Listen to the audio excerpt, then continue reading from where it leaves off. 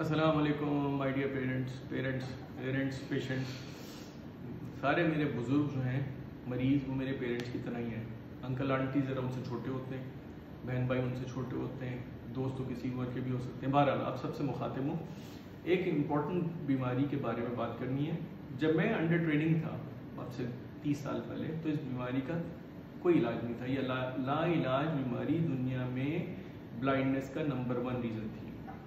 फिर जब हम इस साल इस सदी के बिगिनिंग में पहुँचे, यानी 2000 2000 अब से 20 साल पहले था तो उसी साल उसको मिलेनियम की बिगिनिंग कहते हैं, इस बीमारी के इलाज निकलने शुरू हुए और हमने ये इलाज पाकिस्तान में करने शुरू कर दिए।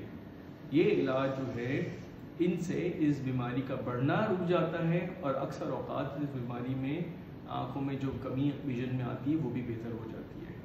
एज रिलेटेड डिजेनरेशन पर्दे की एक ऐसी बीमारी है जिसमें पर्दे के सेल्स कमज़ोर होना शुरू हो जाते हैं और इसकी दो किस्में हैं एक ड्राई और एक वेट।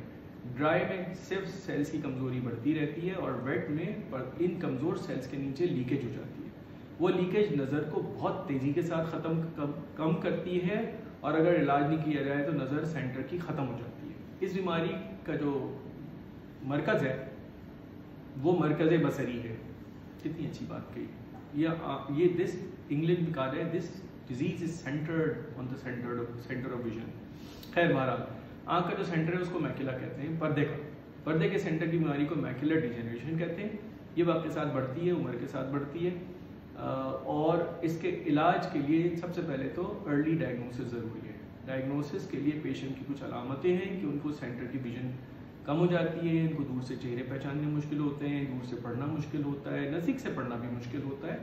उसके अलावा इनको जो सबसे इसकी ख़तरनाक साइन है कि सीधी लाइनें टेढ़ी मेढ़ी नज़र आती हैं, शक्लें टेढ़ी मेढ़ी नज़र आती हैं। वैसे तो पाकिस्तान में अक्सर लोग टेढ़ी मेढ़ी शक्लें, अच्छी खासी शक्ल को टेढ़ी मेढ़ी बना के फिरते हैं।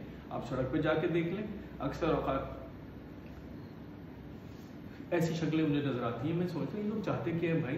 हर आदमी करता है, मुझसे लगता है, कह रहे हैं, मुझसे बड़ा बदमाश, कोई नहीं है मेरे करीब, नहीं आना। ये एक एटीट्यूड हो गया कौम का, अफसोस के साथ। हमें, हमारे नबी वसल्लम मुस्कुराते थे।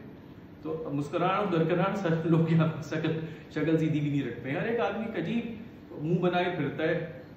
खैर, उस पर बहुत सारे शेर याद आ रहे हैं, लेकिन टाइम नहीं है।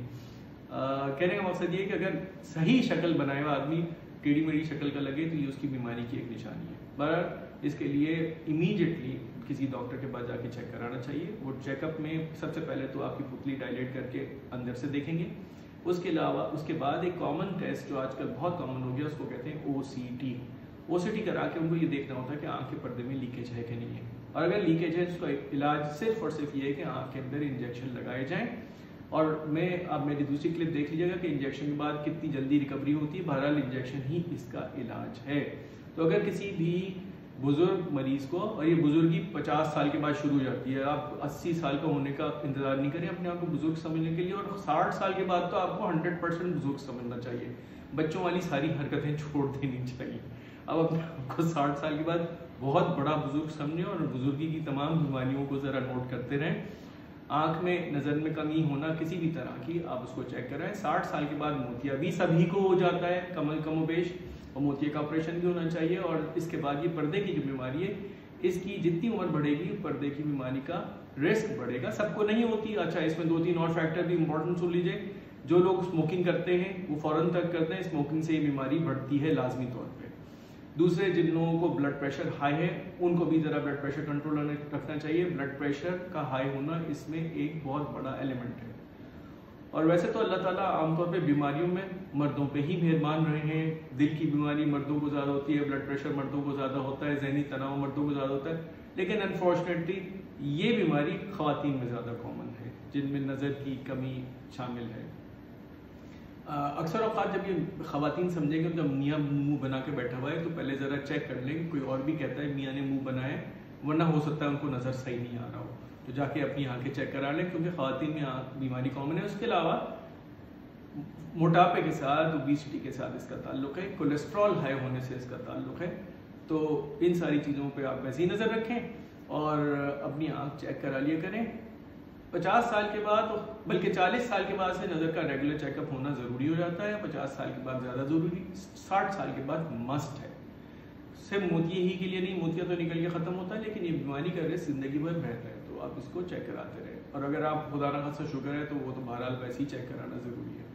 तो कहने का मकसद ये है कि उम्र की बीमारी है, उम्र के साथ होती है डायग्नोस होना ज़रूरी है, इलाज होना ज़रूरी है, और इलाज एक दफ़ा करा के हमेशा के लिए छुटकारा नहीं मिलता। उम्र बढ़ने के साथ साथ इस बीमारी का बढ़ना भी पॉसिबल है। तो अगर आपको इलाज बता दिया गया है, इलाज कामयाब हुआ है, अगर दोबारा होती है तो उसमें डॉक्टर का कोई कसूर नहीं है, उसको मारने पीटने ना दौड़ें। आप अपना टेस्ट कराएँ। टेस्ट आपको क्लियर कट दिखा देगा कि बीमारी आपकी आँख के अंदर ही पैदा हो रही है, खुद ब खुद पैदा हो रही है। उसका इलाज बहरहाल हम कर सकते हैं तो उसका इलाज करवाते रहें। शुक्रिया।